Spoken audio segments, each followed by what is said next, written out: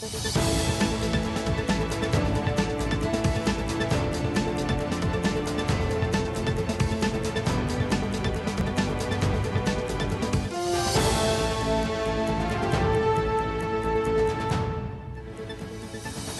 с посветил нас в 9 сутринта. Днес православните християни почитат Деня на кръстението на Божия син в водите на река Йордан. Богоявление е един от най-големите празници в ортодоксалната традиция. Празникът е съпъстван от множество ритуали, които тази година ще протекат по различен начин заради пандемията, а традиционните ритини шествия са отменени на места, за да се избегне струпването на хора.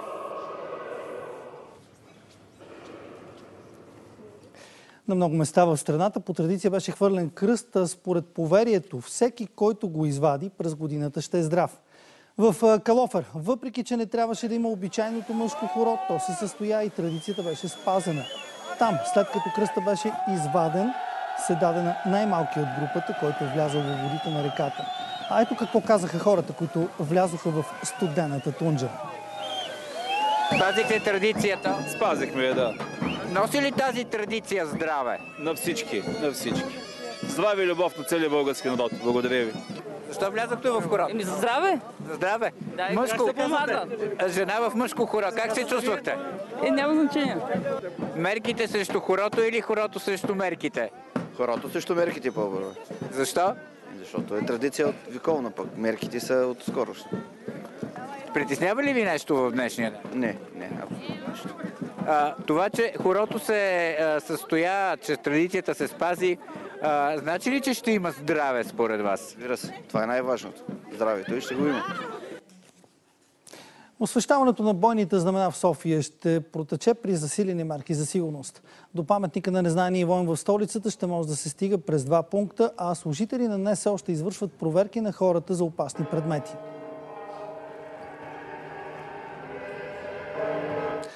В Калофер днес ще има и военен ритуал, с който ще бъде отбелязана 173-та годишна от рождението на Христо Ботев. Президентът Румен ще присъства на ритуала. Българите в Одеса също ще почетат големия поет и революционер. На специална церемония те полагат цветя пред паметника му в украинския град. И към здравната тема, четири мобилни екипа бяха сформирани за поставяне на вакцини срещу COVID-19 за възрастните хора, които са настанени в домове в София. Те попадат във втората вълна на вакцинацията, заедно с всички желаящи, които работят в образователни институции. Имунизациите ще се извършват в самите домове, а екипите, които вакцинират възрастните хора, ще се състоят от лекар и медицинска сестра от общинските болници. Възрастните хора във всички частни държавни домове ще се вакцинират самите домове, като се заповед на Гоша Фандъкова днес ние сме мобилизирали 4 мобилни екипи с лекар-сестра и двама служители от нашата дирекция. Отделно имаме 4 допълнително в резерв екипи за логистика. Обходили сме всички домове за възрастни хора, където те имат манипулациони, които отговарят на изискванията на СРЗИ за преглед и вакцинация. 1310 са новите случаи на коронавирус в страната за последното денонощие. От направените 11 456 проби, 11% са положителни. В болница остават 4276 пациенти. 393 са в интензивни отделения и днес излекуваните са повече от новите случаи. 2142 са преборили болестта. 67 са починали. Вакцинирани са 5448 души, 709 за последното денонощие. Министрът на околната среда и водите Емил Димитров обвини ВИК Варна в 11-месечно бездействие, след като през февруари миналата година не са предприяти мерки за альтернативно водозахранване. Язовир Камчия ще може да им осигури вода само до май 2021 година. Министър Димитров поясни в сутрешния блок на Българската национална телевизия, че от несвършеното в тези 11 месеца зависи и водата на Бургас.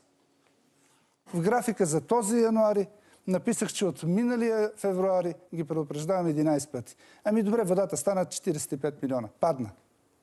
И сега, когато трябва да се наложат ограниченията, ма дайте ни още една година, ние нищо не сме направили през миналата. Кой не е направил нищо през миналата година? Тук трябваше да са Бургас и Варна. Защото аз ги събрах на една среща след указание на премиера на 1 декември в Бургас и казах, уважаеми варненци, вие, Бог ви е дал възможност и от Язовир Цонево и от Девня. Бургас нямат откъде. Те не са ли хора? Южното Черноморие не са ли българи? Очаква се днес Европейската агенция за лекарствата да обяви дали вакцината срещу COVID-19 на Модерна ще бъде одобрена за употреба в Европейския съюз. От агенцията имаха намерение да излязат с позиция още в понеделник, но не успяха да вземат решение. Днес работата на експертите продължава. От агенцията казаха с нощи, че заедно с компанията производител се опитват да изяснят всички открити въпроси. След вакцината на Pfizer и BioNTech, която вече се употребява в държавите членки, тази на Модерна е втората, която очаква да получи зелена светлина от Европейската агенция за лекарствата. Тя вече е одобрена в САЩ, Канада и Израел. Европейската комисия е поръчала 80 милиона дози от нея с опции за още 80 милиона. Също както и вакцината на Pfizer и BioNTech от вакцината на Модерна трябва да бъдат инжектирани две дози. Съхранението й е при температура от минус 20 градуса. Още проверена и актуална информация ще намерите в сайта ни bnetnews.bg, както и в мобилното ни приложение. Вижте след секунди прогнозата за времето с Павлета Терзийска.